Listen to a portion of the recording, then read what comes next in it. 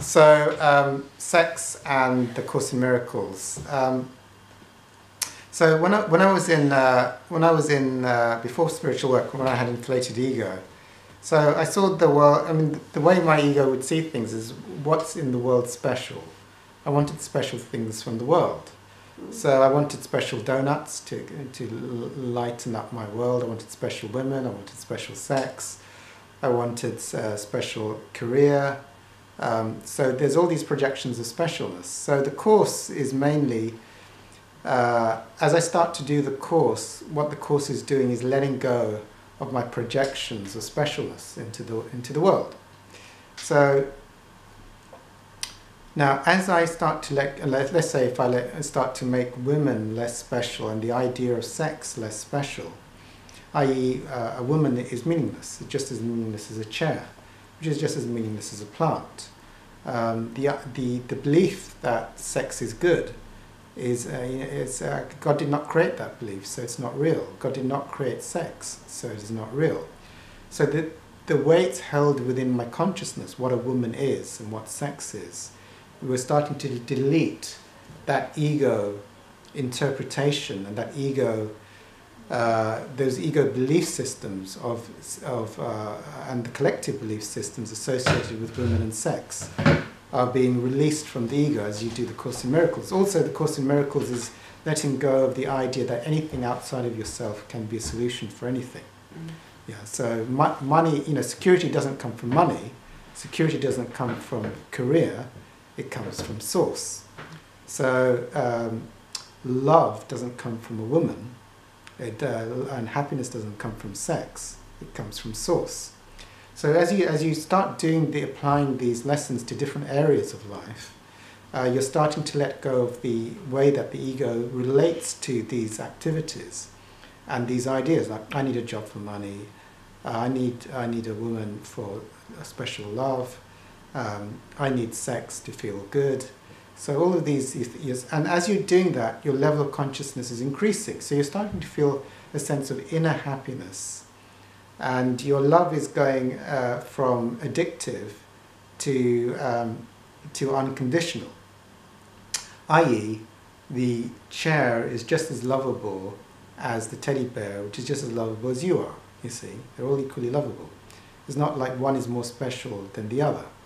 Now, as you so as you go up you're, you're going to ha- you're to be more and more loving and less and less fearful and more and more present in all your relationships.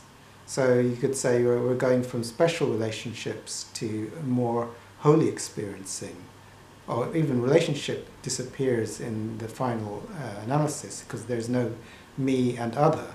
But anyway, so as you go up, so then uh, things are becoming more present, and more imbued with love. So in the lower levels of the ego, it's like there's a lot of feeling of separation, and these things are gone to uh, to cheer one up. You know, if I had a if I had a girlfriend, it's going to be great, or if I could have sex today, that's going to be great. You know, and and they, so you're more sort of addicted, more needing, more desperate for these things. From you know, it's like you're feeling separation. So you're doing these things to get a sense of wholeness if I had a girl, then I'd feel whole. If I could have sex, I'd feel whole. So that's the kind of separated type of uh, relating from uh, separation. So you're dismantling this by saying the woman is meaningless, sex is meaningless, and you, you're also starting to get more happy, let's say, in yourself. You know, you're not going to be needy of these things, uh, uh, and the love is going to become more and more unconditional. Uh, so as this goes up, the now, as your consciousness increases,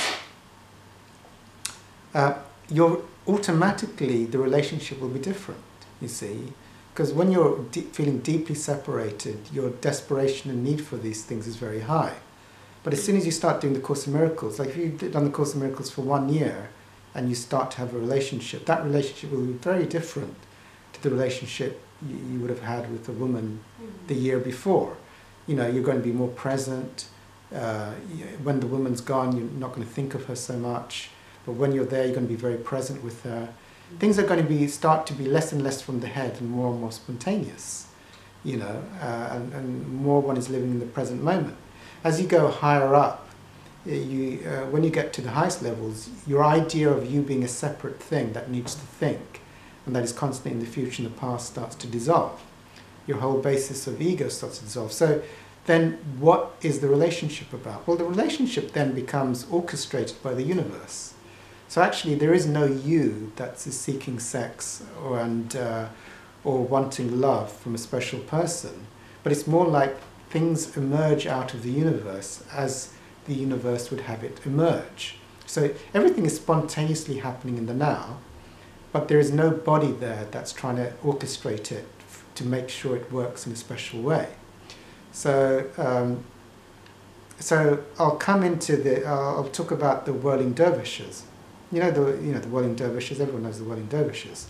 So that no, no, you don't. Know. So the the Sufis the Sufis, they do this dancing, and you, when you see the dancing, you realize there's no dancer doing the dancing. It's like the universe is now, it's like the absence of the ego, and then it, they go into a source of infinite energy, and it's like the, the universe dances the dancer. It's like uh, also something similar to when you go to st- states where suddenly everything is happening effortlessly and there's no person there. It's like everything is orchestrated by, by the universe. So if, if, uh, if the universe can dance a dancer, well, the universe can have, the universe can or- orchestrate a relationship as well. So at the different levels of consciousness, as, as the ego's uh, sense of separation and projections of specialness onto objects and activities dissolves, you know, there's greater presence and greater oneness and more spontaneity. There's less of an individual orchestrating the relationship and more of the universe orchestrating the universe also the reactions become more loving and present, whereas more in the ego, they're more coming from a place of lack and need and control to get what is perceived as required for, uh, for some relief, you see. So, um, so it changes in, in meaning, uh, that might be a word, as, as you go up in your spiritual development, because you're, you're releasing uh, the ego's uh, capacity. So, you know, e- a special relationship or an ego projected relationship to that of one more that is present or more coming, more being orchestrated by the universe or a holy relationship or even an enlightened relationship, well, there's no you or the other. Everything is just happening in the now, orchestrated out of the universe. So those were the d- different levels. So even though the course doesn't, I mean, the course talks about magical things, you know, uh, special things and magical things or special relationships, I think. So, uh, like a magical belief is like if I had a relationship, I'll be whole. Or if I could have sex, I'll be more happy, or something like that. You see, so you're letting those ideas go, and then you're getting, you, you, you know, your your sense of happiness is in the now.